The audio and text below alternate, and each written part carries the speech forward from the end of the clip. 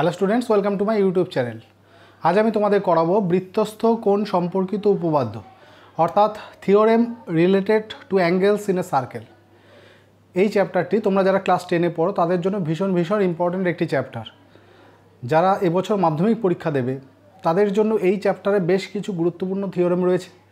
তা সেই থিওরেমগুলো আলোচনা করবার আগে, তার বেসিক কিছু ইনফরমেশান তোমাদের জানা প্রয়োজন। আজ আমি সেই ইনফরমেশানগুলো নিয়েই সবার প্রথমে আলোচনা করব। তাহলে তোমরা মন দিয়ে ক্লাসটি শোনো। আজকের ক্লাসে আমরা এই বৃত্তস্থ কোণ সম্পর্কিত উপপাদ্য, এই চ্যাপ্টারে যে থিওরেমগুলো রয়েছে, সেই থিওরেমগুলো পড়বার আগে যে বিষয়গুলো সবার আগে আমাকে জানতে হবে, যেগুলো না জানলে আমি এই চ্যাপ্টারে থিওরেমগুলো বুঝতে বিভিন্ন জায়গায় অসুবিধা হতে পারে, তাহলে সেই বিষয়গুলোই কিন্তু আজকের ক্লাসে আমরা আলোচনা করব। তাহলে আজকের ক্লাসে সবার প্রথমে আমরা যে বিষয়টি নিয়ে আলোচনা করব সেটি হলো টাইপস অফ অ্যাঙ্গেলস অর্থাৎ কোন কত ধরনের হতে পারে। ঠিক আছে? তাহলে আসা যাক, সবার প্রথমে আমি আসছি অ্যাকুইড অ্যাঙ্গেল বা সূক্ষ্ম কোণ বলতে কী বোঝায়? তোমরা মনে রাখবে যে জিরো ডিগ্রি এবং নাইনটি ডিগ্রি এ দুটোর মধ্যবর্তী যে কোণ, সেই কোণগুলোকে আমরা সূক্ষ্ম কোণ বা অ্যাকুইড অ্যাঙ্গেল বলতে পারি। অর্থাৎ এই যে দেখো এখানে ও একটি সরলরেখা, এই দুটি সরলরেখা আরেকটি হলো ওবি এই দুটো সরলরেখার অন্তর্গত কোণ যদি জিরো থেকে নাইনটি ডিগ্রির মধ্যবর্তী হয়, তখন সেই ধরনের কোণকে আমি সূক্ষ্ম কোণ বা অ্যাকুইড অ্যাঙ্গেল বলতে পারি। দুটি সরলরেখার অন্তর্গত কোণ যদি জিরো থেকে নব্বই ডিগ্রির মধ্যে থাকে, এক্ষেত্রে দুটো সরলরেখার অন্তর্গত কোণকে আমি থিটা ধরে নিয়েছি। তাহলে থিটার মান যদি জিরো থেকে নব্বই ডিগ্রির মধ্যবর্তী হয়, তখন সেই ধরনের কোণকে আমি অ্যাকুইড অ্যাঙ্গেল বা সূক্ষ্ম কোণ বলতে পারি। এরপর আসা যাক রাইট অ্যাঙ্গেল বা সমকোণ। দুটো সরলরেখা যদি পরস্পর লম্বভাবে অবস্থান করে যে দুটি সরলরেখা, একটি ওএ এবং একটি ওবি যদি পরস্পর লম্বভাবে অবস্থান করে, তখন তাদের মধ্যবর্তী যে কোণ, সেই কোণকে বলা হয় রাইট অ্যাঙ্গেল বা সমকোণ। দুটো সরলরেখা যদি পরস্পর লম্বভাবে অবস্থান করে, তখন তাদের মধ্যবর্তী কোণ কত হয়? নব্বই ডিগ্রি। তাহলে এই নব্বই ডিগ্রি কোণকে আমি রাইট অ্যাঙ্গেল বা সমকোণ বলব। ঠিক আছে? এরপর আসা যাক অপটিউস অ্যাঙ্গেল বা স্থূলকোণ। দুটি সরলরেখার অন্তর্গত কোণের মান যদি যে দুটি সরলরেখার অন্তর্গত কোণের মান যদি নব্বই থেকে একশো আশি ডিগ্রির মধ্যবর্তী হয়, তখন সেই কোণকে আমি স্থূলকোণ বা অপটিউস অ্যাঙ্গেল বলতে পারি। ঠিক আছে? তাহলে এখানে ও এবং ওবি দুটি সরলরেখা, তাদের মধ্যবর্তী কোণ আমি থিটা ধরেছি। তাহলে এখানে থিটার মান নব্বই থেকে একশো আশি ডিগ্রি, অর্থাৎ একশো ডিগ্রি হতে পারে, একশো দশ ডিগ্রি হতে পারে, একশো কুড়ি ডিগ্রি হতে পারে। এই ধরনের সমস্ত অ্যাঙ্গেলকে মানে নব্বই থেকে একশো আশির মধ্যবর্তী যত রকম অ্যাঙ্গেল আছে, সমস্ত অ্যাঙ্গেলকে আমি স্থূলকোণ বা অপটুস অ্যাঙ্গেল বলব। ঠিক আছে? এরপরে আসা যাক স্ট্রেট অ্যাঙ্গেল বা সরল সরল কোণ দুটি সরলরেখার মধ্যবর্তী কোণ যদি একশো আশি ডিগ্রি হয়, দুটি সরলরেখার মধ্যবর্তী কোণ যদি একশো আশি ডিগ্রি হয়, তখন সেই কোণকে আমি সরল কোণ বা স্ট্রেট অ্যাঙ্গেল বলে থাকি। এই ও এ এবং ও বি দুটি সরলরেখা, তাদের মধ্যবর্তী কোণ কত আছে এখানে? একশো আশি ডিগ্রি। একশো আশি ডিগ্রি মানে এক সরলরেখায় তারা অবস্থান করছে। তাহলে সেই ধরনের কোণকে আমি কি বলছি? সরল কোণ বা স্ট্রেট অ্যাঙ্গেল ঠিক আছে? আচ্ছা এরপর আসা যাক রিফ্লেক্স অ্যাঙ্গেল বা প্রবৃদ্ধ কোণ। কাকে বলে? দুটো সরলরেখার অন্তর্গত কোণের মান যদি নব্বই থেকে বড় সরি একশো আশি ডিগ্রি থেকে বড়, একশো আশি ডিগ্রি থেকে বড়, কিন্তু তিনশো ষাট ডিগ্রি থেকে ছোট। অর্থাৎ একশো আশি ডিগ্রি এই যে এই হচ্ছে একশো আশি ডিগ্রি, তার থেকে দেখো বড় কোণ এখানে রয়েছে। তাহলে একশো আশি ডিগ্রি থেকে বড় এবং তিনশো ষাট ডিগ্রি থেকে ছোট, অর্থাৎ একশো আশি থেকে তিনশো ষাটের মধ্যবর্তী যে কোণগুলি রইল, সেই কোণগুলিকে আমি রিফ্লেক্স অ্যাঙ্গেল বা প্রবৃদ্ধ কোণ বলব। ঠিক আছে? তাহলে এখানে দেখো ও এ এবং ওবি এই দুটো সরলরেখার অন্তর্গত কোণ, সেটা যদি থিটা হয়, তাহলে থিটার মান, তুমি এই ছবি দেখে বুঝতে পারবে, একশো আশি ডিগ্রি তার থেকে বড় রয়েছে এবং তিনশো ষাট ডিগ্রি থেকে ছোট রয়েছে। এই ধরনের কোণ, তাকে আমরা কি বলব? রিফ্লেক্স অ্যাঙ্গেল বা প্রবৃদ্ধ কোণ। নেক্সট ফুল অ্যাঙ্গেল বা কমপ্লিট অ্যাঙ্গেল বলতে কি বোঝায়?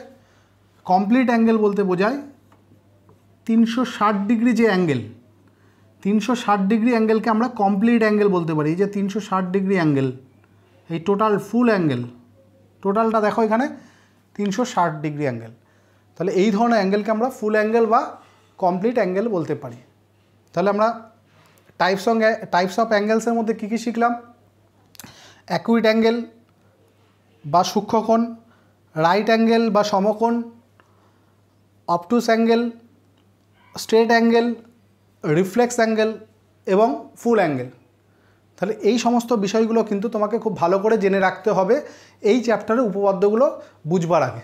এবার আমরা এই টাইপস অফ অ্যাঙ্গেলসের মধ্যে যে সমস্ত অ্যাঙ্গেলগুলো সম্পর্কে আলোচনা করেছি সেইগুলো বৃত্তের মধ্যে কীভাবে সেই সমস্ত অ্যাঙ্গেলগুলো তৈরি হয়, তার দেখো বিভিন্ন ছবি আমি এখানে অঙ্কন করেছি। তাহলে সবার প্রথমে আসি সূক্ষ্মকোণ তাহলে একটি বৃত্তের কেন্দ্র, কেন্দ্রের সাথে তার দুটো ব্যাসার্ধ, যে অ্যাঙ্গেল করে সেই অ্যাঙ্গেলের মান যদি জিরো থেকে নাইনটি ডিগ্রির মধ্যে হয়, অর্থাৎ এই যে কোণটা, এটা কিন্তু জিরো থেকে নব্বই ডিগ্রির মধ্যবর্তী। তাই এক্ষেত্রে এই কোণটি এখানে সূক্ষ্ম কোণ তৈরি করল।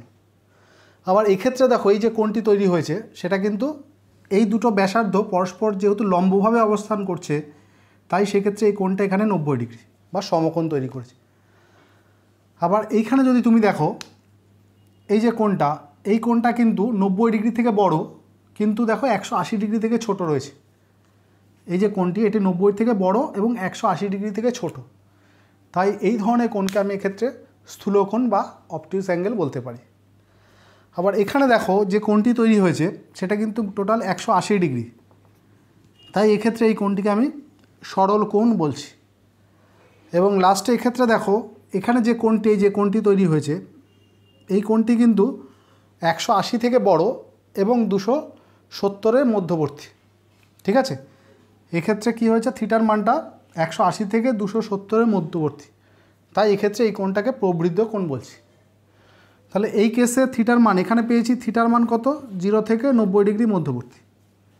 এখানে যে থিটা পেয়েছি নব্বই ডিগ্রি। এখানে যে থিটা পেয়েছি, সেই থিটা হচ্ছে নব্বই থেকে বড়, কিন্তু একশো আশি ডিগ্রি থেকে ছোট। তাই স্থূলকোণ হয়েছে। এক্ষেত্রে থিটা পেয়েছি কত? একশো আশি ডিগ্রি বা সরল কোণ বা এটাকে স্ট্রেট লাইন স্ট্রেট অ্যাঙ্গেলও বলতে পারি।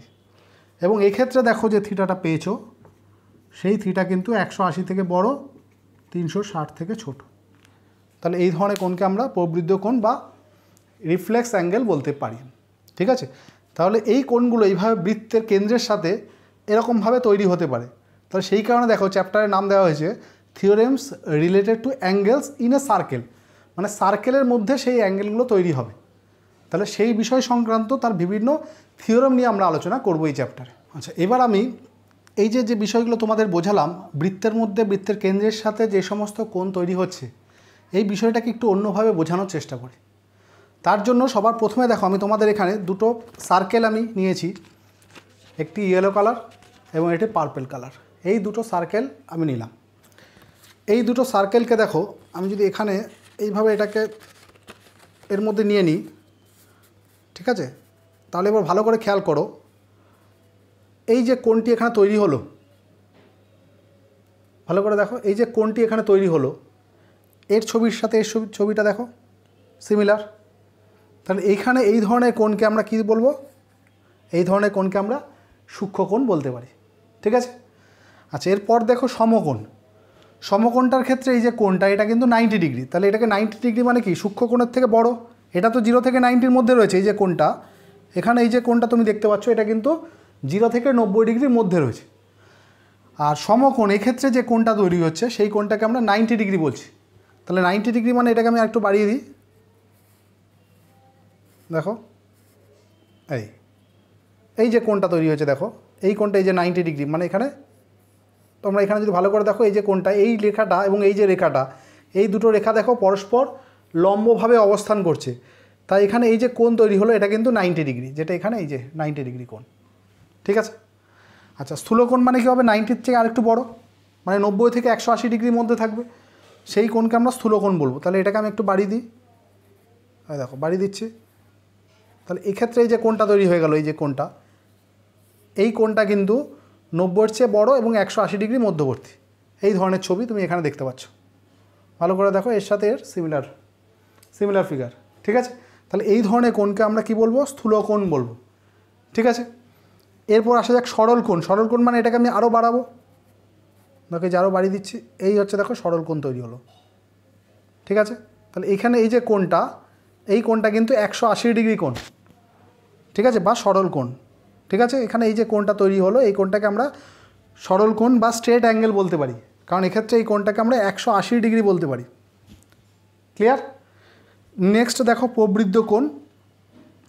যেটা একশো আশির থেকে বড় মানে এবার একশো আশি থেকে আরেকটু বাড়িয়ে দিই। দেখো, এটাকে আরও বাড়িয়ে দিলাম। ঠিক আছে? এই, এবার তুমি ভালো করে দেখো। এবার তুমি এটাকে ঘুরিয়ে দিই, এই যে এই যে কোণটা দেখো এখানে তৈরি হচ্ছে, এই কোনটা এই কোনটা কিন্তু তুমি ভালো করে দেখো, এটা হচ্ছে প্রবৃদ্ধ কোণ বা একশো আশি থেকে বড় এবং তিনশো ষাট ডিগ্রি থেকে ছোট। তাহলে এই ধরনের কোণকে, যে এখানে যে কোণটা তৈরি হলো, এই যে কোণটা, এই কোণটাকে আমি প্রবৃদ্ধ কোণ বা রিফ্লেক্স অ্যাঙ্গেল বলতে পারি। যেই কোণটা কি?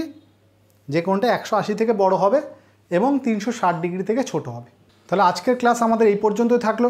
আজকের ক্লাসে আমরা যে বিষয়গুলো পড়লাম সেইগুলো তোমরা দেখতে পারবে। এর পরের ক্লাস থেকে যে আমরা থিওরেমগুলো নিয়ে আলোচনা করব, সেই ক্লাসগুলোর জন্য কিন্তু এগুলো খুব ভীষণভাবে দরকার। তাই তোমরা বাড়িতে এই জিনিসগুলো খুব ভালো করে দেখো। পরের ক্লাসে আমরা এই চ্যাপ্টারে এক এক করে থিওরেম নিয়ে আলোচনা করব। তাহলে এই চ্যাপ্টারের প্রথম যে থিওরেম যে থিওরেম থার্টি বা উপপাদ্য চৌত্রিশ, এটা নিয়ে আমরা পরের ক্লাসে আলোচনা করব। ততক্ষণ সবাই খুব ভালো থেকো এবং সুস্থ থেকো।